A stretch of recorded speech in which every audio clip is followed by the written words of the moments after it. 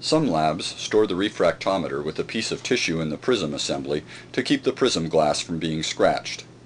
Open the prism assembly and remove the tissue.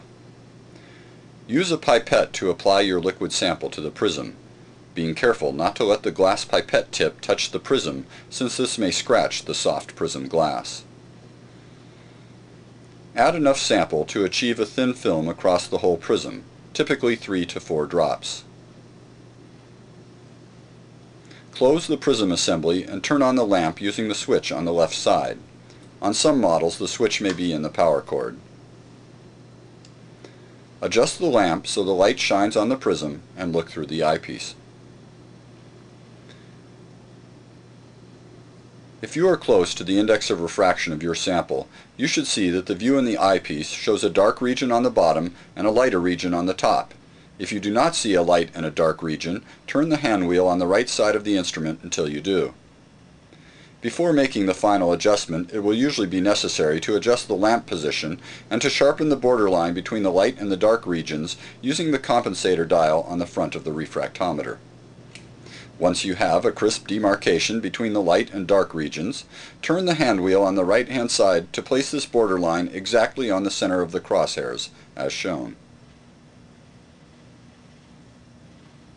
To read the index of refraction, depress the switch on the left-hand side of the refractometer until you see the scale through the eyepiece. The upper scale indicates the index of refraction.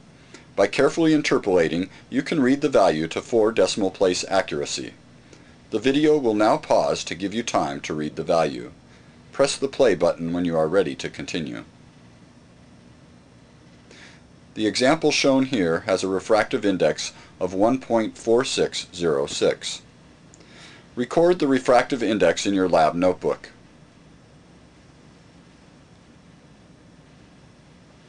Then read the thermometer and record the temperature.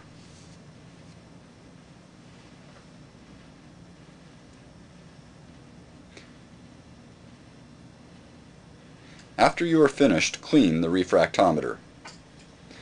First use a tissue to dab away most of your sample.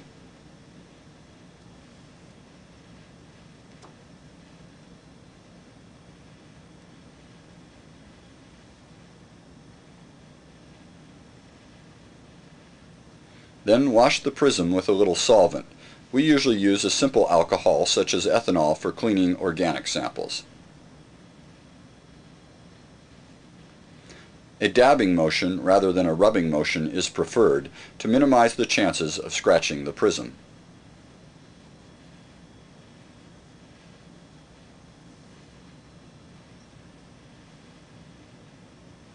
After you have finished cleaning the prism, place a clean tissue in the assembly.